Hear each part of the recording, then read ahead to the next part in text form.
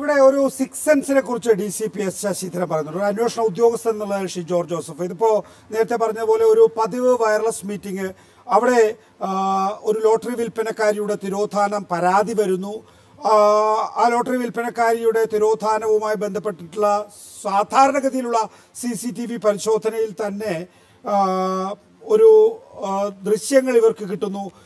ഇയാളുടെ ഒരു white Scorpio വാഹനത്തിൽ ഇരുപത്തിയാറാം തീയതി പത്ത് പതിനഞ്ചിന് ചിറ്റൂർ റോഡിലുള്ള കൃഷ്ണ ഹോസ്പിറ്റലിന്റെ സമീപത്ത് നിന്നും വെള്ള കളറുള്ള സ്കോർപിയോ കാറിൽ കയറി കൊണ്ട് പോകുന്നു എന്നുള്ളതാണ്.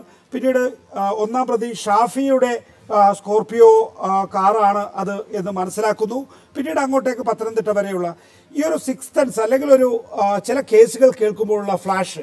ആ ഫ്ലാഷാണ് പിന്നീട് റോസലിലേക്ക് പോലും പോലീസ് ഉദ്യോഗസ്ഥരെ എത്തിച്ചത്. അതെങ്ങനെയാണ് താങ്കൾ വിശദീകരിക്കുക അത് സിക്സ് സെൻസ് ചില ഇൻവെസ്റ്റിഗേഷൻ ഓഫീസ് ഞങ്ങൾക്കൊക്കെ സാധാരണ ഉണ്ടാകാറുണ്ട്.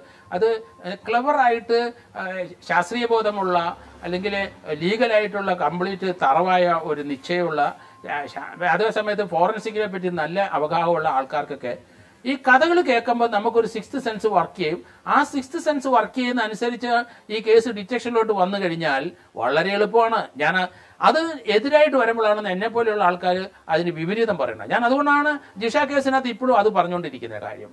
കാരണം അതൊരു സിക്സ്ത് സെൻസ് എന്റെ വർക്ക് ചെയ്തതാണ്. പക്ഷേ അന്വേഷണ ഉദ്യോഗസ്ഥർക്ക് വർക്ക് ചെയ്തിട്ടുണ്ടാവില്ല.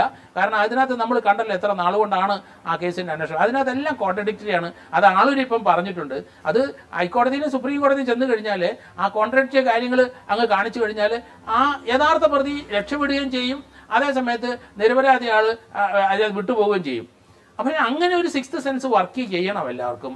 അത് നല്ലതായിട്ട് ഈ ക്രൈംസിനകത്ത് ഇൻവോൾവ് ചെയ്യുന്നവർക്കാണ് സാധാരണഗതിയിൽ അങ്ങനെയുള്ള സിക്സ്ത് സെൻസിന്റെ വർക്ക് ഏതായാലും ശശിധരൻ ഉണ്ടായ നല്ല കാര്യം ആ സിക്സ്ത് സെൻസ് വർക്ക് ചെയ്തനുസരിച്ച് അത് ട്രാക്ക് ചെയ്തപ്പോൾ കറക്റ്റായി അതാണ് അതിന്റെ ഒരു പ്ലസ് പോയിന്റ് അപ്പോൾ അത് സർവസാധാരണമാണ്. നല്ല ഇൻവെസ്റ്റിഗേറ്റിംഗ് ഓഫീസർക്ക് അത് വരും. പക്ഷേ എന്ന് വിചാരിച്ചുകൊണ്ട് ഒരു കൺവീഷനോട്ട് പോകണമെന്നില്ല. പ്രോസിക്യൂഷൻ എക്സ്പെർട്ട് ആകുന്നത് കോടതികളിൽ പോയി ഇരുന്ന് ഒന്നാം സാക്ഷി മുതൽ നൂറാം സാക്ഷി വരെ ആൾക്കാരെ പഠിപ്പിച്ച് അവരുടെ മൊഴി ഹൃദിസ്ഥമാക്കി അവരെ കോടതി കൊണ്ടുപോയി അവരെ പറയിപ്പിച്ച് ആ ഒരു കോൺട്രഡിക്ഷൻ ഇല്ലാതെ കൊണ്ടിരുന്നതാണ് പ്രോസിക്യൂഷൻ അതിന് കേരളത്തിലുള്ള തൊണ്ണൂറ് ശതമാനം പോലീസ് ഉദ്യോഗസ്ഥന്മാർ കോടതി ഞാൻ കണ്ടിട്ടില്ല. നമ്മളെ പോലെയുള്ള ആൾക്കാർ ധാരാളം മണ്ടന്മാർ അങ്ങനെ പോയി. അവിടെ മുഴുവൻ കുത്തിയിരുന്ന് വക്കീൽ വക്കീലന്മാരുടെ ഒപ്പം പോയി കുത്തിയിരുന്ന് ആ കേസ് ശിക്ഷിപ്പിച്ചിട്ടേ വെളി വരുള്ളൂ ശ്രീനിവാസു സാധാരണഗതിയിൽ ഒരു മിനിറ്റ് അല്ല ഏറ്റവും കൂടുതൽ ശരി. ശ്രീമതി ശ്രീനിവാസു ഈ ഇതിൽ പോലീസിന് നമ്മൾ സല്യൂട്ട് കൊടുക്കാനുള്ള ഒരു പ്രധാനപ്പെട്ട കാരണം സാധാരണക്കാരിൽ സാധാരണഗതിയിൽ ഒരു വി ഐ പി കേസിനൊക്കെയാണ് പ്രമുഖമായി പോലീസ് പ്രാധാന്യം കൊടുക്കുക. ഇത് സാധാരണക്കാരിൽ സാധാരണക്കാരുടെ ഒരു തിരോധാനം. കൊലപാതകം പോലും അറിയില്ലല്ലോ. ആ തിരോധാനത്തിൽ പിടിച്ചു പോയപ്പോഴാണ് ഈ പ്രതിയിലേക്ക് എത്തുന്നത്. ആ പ്രതിയിൽ നിന്ന് ദമ്പതികളിലേക്ക് എത്തുന്നത് എന്നുള്ള. സാധാരണഗതിയിൽ അങ്ങനെ സംഭവിക്കാറുണ്ട് അല്ലേ? ചില ചില കേസുകളിലെങ്കിലും. ഇതൊരു യാദൃച്ഛികമായിട്ടുള്ള നേട്ടമായിട്ടാണോ പോലീസിന്റെതായി പോലീസിന്റെത് കാണുന്നത്? അതോ എല്ലാ മനുഷ്യജീവനും ഈ വില കൊടുക്കാറുണ്ടോ പോലീസ്? യാദൃച്ഛികമല്ല. ഇത് സ്റ്റാൻഡേർഡ് ഇൻവെസ്റ്റിഗേഷൻ അതിന്റെ പരിസമാപ്തിയിലേക്ക് പോയിക്കൊണ്ടിരിക്കുന്നു. Coupled with intuitions of the officer ഒരു നല്ല ഓഫീസർ എപ്പോഴും അദ്ദേഹത്തിന്റെ ഇന്റ്യൂഷനെ കുറച്ച് മതിപ്പോടുകൂടി കാണണം.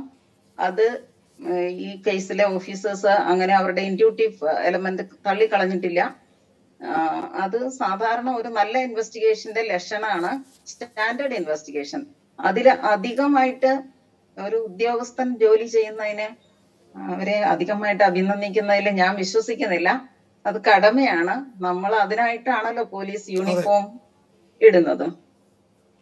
ഇന്നത്തെ കാലഘട്ടത്തിലെ പോലീസ് പലയിടത്തും പരാജയപ്പെടുമ്പോഴാണ് ഇതാ ഇങ്ങനെ ഒരു ഉദ്യോഗസ്ഥൻ നമ്മുടെ മുന്നിൽ നിൽക്കുന്നത്. അപ്പോൾ നമ്മൾ ഇന്നിപ്പോ കമ്മീഷണറെ ഡി സി പിയെ എങ്ങനെ പ്രോത്സാഹിപ്പിച്ചോ അതുപോലെ ഒരു മാധ്യമപ്രവർത്തകൻ എന്നുള്ള നിലയിൽ ഈ പോലീസുകാരനിലൂടെ എല്ലാ പോലീസുകാരനോടും ഇങ്ങനെ ആകണമെന്ന് പറയാനുള്ള ഒരു തോന്നൽ എനിക്കുണ്ട്. തീർച്ചയായും.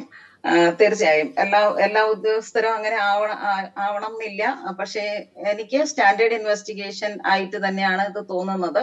തെറ്റുകൾ പറ്റും. അത് നമ്മൾ ഇടയിൽ വളരെ എന്താ പറയുക ഹൈലൈറ്റ് ചെയ്ത് അവരെ നിരുത്സാഹപ്പെടുത്തരുത്. കാരണം ഇത്തരം ഒരു കോംപ്ലക്സ് കേസിൽ ഇടയ്ക്കിടയ്ക്ക് ചെറിയ മിസ്റ്റേക്സ് കിട്ടും.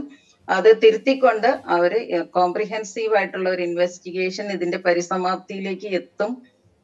പിന്നെ എന്താ പറയുക പലരും വിശ്വസിക്കുന്നത് പോലെ ഒരു ക്യാപിറ്റൽ പണിഷ്മെന്റ് ആണ് ഏറ്റവും നല്ല പരിസമാപ്തി എന്ന് വിശ്വസിക്കുന്ന ഒരാളല്ല ഞാൻ. അത് ലൈഫ് ഇംപ്രസൺമെന്റ് അതിനേക്കാൾ മെച്ചപ്പെട്ട ഒരു ശിക്ഷാരീതിയാണെന്ന് വിശ്വസിക്കുന്ന ഒരാളാണ് ഞാൻ. എനിക്ക് ഇതിനെപ്പറ്റി അറിവൊന്നും ഉള്ള ആളല്ല. പക്ഷെ ക്യാപിറ്റൽ പണിഷ്മെന്റിൽ വിശ്വാസം ഇല്ലാത്ത ഒരാളാണ് ഞാൻ.